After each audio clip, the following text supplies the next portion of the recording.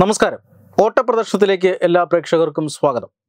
ബംഗ്ലാദേശിലെ സംഭവ വികാസങ്ങൾ തന്നെയാണ് ഇന്ന് ഈ ദിവസത്തിന്റെ ഒടുവിൽ ഏറ്റവും വലിയ വാർത്ത. ആ വാർത്ത ഓരോ നിമിഷവും മാറി മറിഞ്ഞുകൊണ്ടിരിക്കുകയാണ്. അതായത് ബംഗ്ലാദേശിൽ വളരെ വലിയ രീതിയിലുള്ള കലാപവും പ്രക്ഷോഭവുമെല്ലാം ഏറെ നാളായി നടന്നു വരികയായിരുന്നു ഈ കലാപത്തിന്റെ സ്വഭാവം എന്നത് സംവരണ വിരുദ്ധ കലാപമായിരുന്നു. രാജ്യത്ത് നിലവിലുണ്ടായിരുന്ന സംവരണ നയത്തിനെതിരെ അത്തരം നിയമങ്ങൾക്കെതിരെയായിരുന്നു ആ പ്രക്ഷോഭം എന്ന് നമുക്കറിയാം. പ്രക്ഷോഭകാരികൾ തെരുവിലിറങ്ങി വലിയ രീതിയിൽ അക്രമം കാട്ടുകയും പോലീസുമായും പട്ടാളവുമായിട്ടുമൊക്കെ ഏറ്റുമുട്ടുകയും വിദ്യാഭ്യാസ സ്ഥാപനങ്ങൾ അടക്കം അടച്ചിട്ടുകൊണ്ട് ജനജീവിതം സ്തംഭിപ്പിക്കുകയും ഒക്കെ ചെയ്ത ഒരു വലിയ സമരമായിരുന്നു. ആ സമരത്തിന്റെ ആവശ്യത്തിന് പിന്നിൽ ഒരല്പം ന്യായമുണ്ട് എന്ന് പറയാതെ വയ്യ. കാരണം ഏതാണ്ട് മുപ്പത് ശതമാനത്തോളം സർക്കാർ ജോലികൾ സംവരണം ചെയ്തിരിക്കുന്നത് ആയിരത്തി തൊള്ളായിരത്തി എഴുപത്തി ഒന്നിലെ ബംഗ്ലാദേശ് വിമോചന സമരത്തിൽ പങ്കെടുത്ത സ്വാതന്ത്ര്യ സമര സേനാനികളുടെ പിൻഗാമികൾക്കായിരുന്നു. പിന്നീട് മറ്റുള്ള സംവരണം എല്ലാം കൂടി ചേർത്ത് അൻപത്തിയേഴ് ശതമാനം സംവരണ സീറ്റുകളായിരുന്നു. ബാക്കിയുള്ള ഏതാനും ചുരുക്കം ചില സീറ്റുകൾ മാത്രമാണ് ജനറൽ വിഭാഗത്തിനുള്ളത്. അതുകൊണ്ട് തന്നെ രാജ്യത്ത് ജനറൽ വിഭാഗത്തിൽ തൊഴിലില്ലായ്മ വർദ്ധിച്ചു വരികയും പഠിച്ചിട്ടും കാര്യമില്ല എന്ന രീതിയിലേക്ക് കാര്യങ്ങൾ എത്തുകയും ചെയ്തു. പ്രത്യേകിച്ചും കോവിഡ് അനന്തരം രാജ്യത്തിന്റെ സമ്പദ് വ്യവസ്ഥ വലിയ ഒരു പ്രതിസന്ധിയിലേക്ക് പോയ സാഹചര്യത്തിൽ ഈ സംവരണ നയം ഉയർത്തിപ്പിടിച്ചുകൊണ്ടാണ് ഒരു ആദ്യഘട്ടം എന്ന നിലയിൽ അവിടുത്തെ പ്രക്ഷോഭം ആരംഭിച്ചത്. എന്നാൽ സുപ്രീം കോടതി ഈ കേസിൽ ഇടപെടുകയും സംവരണ നയം ഇപ്പോൾ തുടരുന്ന സംവരണ നയം മുഴുവൻ എടുത്തു കളയുകയും ഇത് സംബന്ധിച്ച ഹൈക്കോടതി ഉത്തരവ് റദ്ദാക്കുകയും ഒക്കെ ചെയ്തു. ഇതോടുകൂടി സംവരണ പ്രശ്നം അവസാനിക്കുന്നു.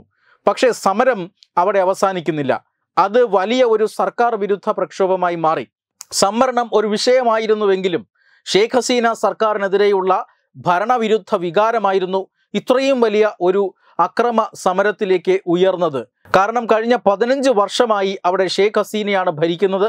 മാത്രമല്ല നാലാം തവണ ഷേഖ് ഹസീനയുടെ പാർട്ടി ഭരണത്തിലേക്ക് തിരഞ്ഞെടുക്കപ്പെടുകയും ചെയ്തു. അതിനുശേഷമാണ് വലിയ രീതിയിലുള്ള ഭരണവിരുദ്ധ വികാരമുണ്ടാകുന്നത്. ഇത് മുതലെടുക്കാൻ നിരവധി കക്ഷികൾ ശ്രമിച്ചു എന്ന ഒരു റിപ്പോർട്ടാണ് വരുന്നത്. ഇതുമായി ബന്ധപ്പെട്ടാണ് ഇപ്പോൾ വലിയൊരു പ്രക്ഷോഭം ഉണ്ടാകുന്നത്. ഈ ഷെയ്ഖ് ഹസീനയ്ക്കെതിരെയുള്ള ശക്തമായ ഭരണവിരുദ്ധ വികാരം ഉണ്ടാകാനുള്ള ഏറ്റവും പ്രധാനപ്പെട്ട കാരണം സംവരണ നയമല്ല മറിച്ച് സാമ്പത്തിക പ്രതിസന്ധിയാണ്.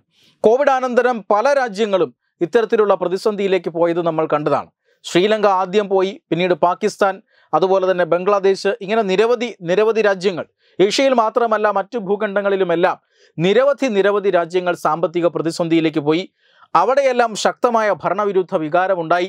ഇന്ന് ബംഗ്ലാദേശിൽ നടന്നതുപോലെ പ്രധാനമന്ത്രിയുടെ വസതിയിലേക്ക് ജനങ്ങൾ ഇരച്ചു കയറുകയും അവിടെ നിന്നും സാധനങ്ങളടക്കം കൊള്ളയടിച്ച് കൊണ്ടുപോവുകയും ഒക്കെ ചെയ്ത ഒരു വലിയ സംഭവം ഇന്ന് ബംഗ്ലാദേശിൽ നടന്നു. ഇത്തരത്തിൽ സമാനമായ അക്രമ സംഭവങ്ങളെല്ലാം ശ്രീലങ്കയിൽ ഉണ്ടായത് നമ്മൾ കണ്ടതാണ്. പാകിസ്ഥാൻ ഏതാണ്ട് അതിന്റെ വക്കോളം എത്തിയതാണ്. അതേ സമാനമായ ഒരു സാമ്പത്തിക പ്രതിസന്ധി ഇവിടെയുണ്ട്. പ്രത്യേകിച്ചും കോവിഡ് കാലഘട്ടത്തിന് ശേഷം ജനങ്ങൾ ജീവിക്കാൻ ബുദ്ധിമുട്ടുമ്പോൾ വലിയ രീതിയിലുള്ള വിലക്കയറ്റം ഉണ്ടാകുന്നു ഇന്ധനക്ഷാമം ഉണ്ടാകുന്നു ഊർജ പ്രതിസന്ധി ഉണ്ടാകുന്നു അതുപോലെ തന്നെ വിദേശ നാണ്യ ശേഖരത്തിൽ വലിയ കുറവുണ്ടാകുന്നു. രാജ്യത്തിന്റെ പൊതുകടം വല്ലാതെ വർദ്ധിക്കുന്നു ഇതെല്ലാം ജനജീവിതത്തെ ദുസ്സഹമാക്കിയ ഘടകങ്ങളാണ്. ഈ ഘടകങ്ങളാണ് സർക്കാരിനെതിരെ ഇപ്പോൾ വലിയ ഒരു ജനവിരുദ്ധം അല്ലെങ്കിൽ ഭരണവിരുദ്ധ പ്രക്ഷോഭമായൊക്കെ മാറിയത്. ഈ പ്രക്ഷോഭത്തെ നേരിട്ടതിൽ ഷെയ്ഖ് ഹസീനയ്ക്ക് ചില പിഴവുകൾ പറ്റിയിട്ടുണ്ട് എന്ന കാര്യത്തിൽ തർക്കമൊന്നുമില്ല. ഷെയ്ഖ് ഹസീന ഈ പ്രക്ഷോഭകരെ ഭീകരവാദികളെന്ന് വിളിക്കുകയും അതായത് ആയിരത്തി തൊള്ളായിരത്തി വിമോചന സമരത്തിൽ പാകിസ്ഥാനോട് ഒപ്പം നിന്ന് സ്വന്തം രാജ്യത്തെ ഒറ്റുകൊടുത്ത ഒരു വിഭാഗമുണ്ട്. ആ വിഭാഗമാണ് ഈ വിഭാഗം എന്ന് പറഞ്ഞുകൊണ്ട് രാജ്യദ്രോഹികളെന്ന് വിളിക്കുകയും ഒക്കെ ചെയ്തുകൊണ്ട് പ്രക്ഷോഭകരെ പ്രകോപിപ്പിച്ചു. ഇത് എരുതിയിൽ എണ്ണയൊഴിക്കുന്നത് പോലെയാവുകയും ബംഗ്ലാദേശിൽ വലിയ രീതിയിൽ പ്രക്ഷോഭം ആളിപ്പടരുകയും ഒക്കെ ചെയ്തു. സത്യത്തിൽ ഇതൊരു സൈനിക അട്ടിമറിയാണ് എന്ന് തന്നെ പറയാൻ സാധിക്കും. കാരണം കഴിഞ്ഞ ദിവസം അതായത് ഞായറാഴ്ച അവിടുത്തെ സൈന്യത്തിന്റെ തലവനും വളരെ മുതിർന്ന സൈനിക ഉദ്യോഗസ്ഥരുമെല്ലാം ഒരു പ്രധാനപ്പെട്ട യോഗം കൂടിയിരുന്നു. ആ യോഗത്തിലെടുത്ത തീരുമാനം ഷേഖ് ഹസീനയെ ഭരണത്തിൽ നിന്ന് പുറത്താക്കുക എന്നതായിരിക്കണം. അതിന്റെ ഫലമായിട്ടാണ് പിന്നീട് അതിനുശേഷം ഈ രാജ്യത്തെ ഒടൊപ്പമാണ് അല്ലെങ്കിൽ രാജ്യത്തിന്റെ ജനങ്ങളോടൊപ്പമാണ് സൈന്യം എന്ന രീതിയിൽ ഒരു പ്രസ്താവന സൈന്യത്തിന്റെ ഭാഗത്ത് നിന്ന് ഉണ്ടാകുന്നത്. ഇന്ന് രാവിലെയോടുകൂടി തന്നെ വലിയ രീതിയിൽ പ്രക്ഷോഭം ആളിപ്പടരുന്നു. ഷേഖ് ഹസീനയ്ക്ക് അവിടെ നിന്നും രക്ഷപ്പെടേണ്ട സാഹചര്യമുണ്ടാകുന്നു. അങ്ങനെ ഒരു വിമാനത്തിൽ ഷെയ്ഖ് ഹസീന അവിടെ നിന്ന് രക്ഷപ്പെടുന്നു. ഇപ്പോൾ ഉത്തർപ്രദേശിലെ ഹിൻഡൻ എയർബേസിൽ ആ, വിമാനം ഇറങ്ങി എന്നാണ് ലഭിക്കുന്ന വിവരം. അവിടെ നിന്ന് ഷെയ്ഖ് ഹസീനെ ദില്ലിയിലേക്ക് മാറ്റിയിട്ടുണ്ട് എന്നും വിവരം ലഭിക്കുന്നുണ്ട്.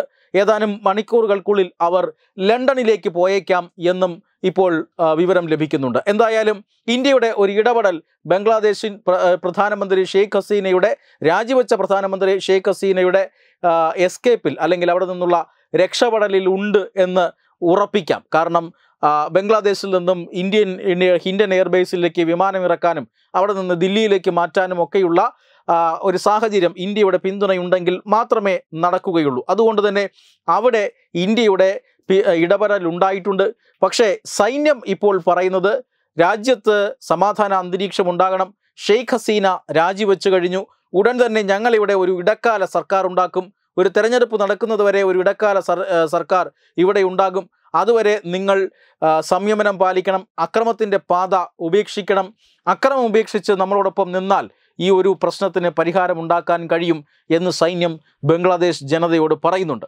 എന്തായാലും ഒരു പട്ടാള അട്ടിമറി തന്നെയാണ്. പക്ഷേ അതിരൂക്ഷമായ ഒരു അധികാരം പിടിച്ചെടുക്കലൊന്നുമല്ല.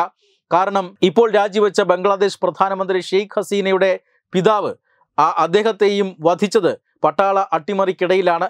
പിന്നീടാണ് ആ ചാരത്തിൽ നിന്നും ഉയർത്തെഴുന്നേറ്റ് ആയിരത്തി തൊള്ളായിരത്തി തൊണ്ണൂറിൽ പട്ടാള ഏകാധിപതിയെ പുറത്താക്കുന്നതിൽ ഈ പറയുന്ന ഷെയ്ഖ് ഹസീനയ്ക്ക് വലിയൊരു പങ്കുണ്ട്.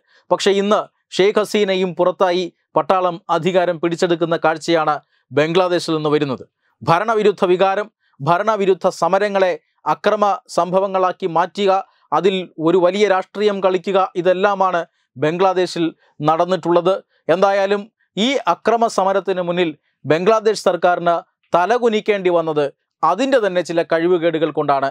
കാരണം സമ്പദ് വ്യവസ്ഥയെ പുനരുജ്ജീവിപ്പിക്കാൻ സമ്പദ് വ്യവസ്ഥയെ ശ്രദ്ധിച്ചു പരിപാലിക്കാൻ ആ സർക്കാരിന് സാധിച്ചില്ല. അതവിടെ വലിയ പരാജയമായി മാറുന്നു. ജനകീയ പ്രക്ഷോഭങ്ങൾക്ക് അതിൽ ഇടപെട്ട് പ്രവർത്തിക്കുന്ന ചില ക്ഷുദ്രശക്തികൾക്ക് പോലും തലകുനിച്ചു കൊടുക്കേണ്ട അവസ്ഥ ഷെയ്ഖ് ഹസീന സർക്കാരിന് ഉണ്ടായി എന്നതാണ് വാസ്തവം. വെബ് ഡെസ്ക് തത്തുമൈ news. Powered by Jyotis. Realizing your dream home. Our ongoing luxury apartments projects are Crown near Karivattam, The Square near UST Global, White Manor near Achigal Ambalatra, and Evergreens Luxury Villas near Tirumala. Call 90482 55599. Jyotis Building Promoters Private Limited, Thiruvananthapuram.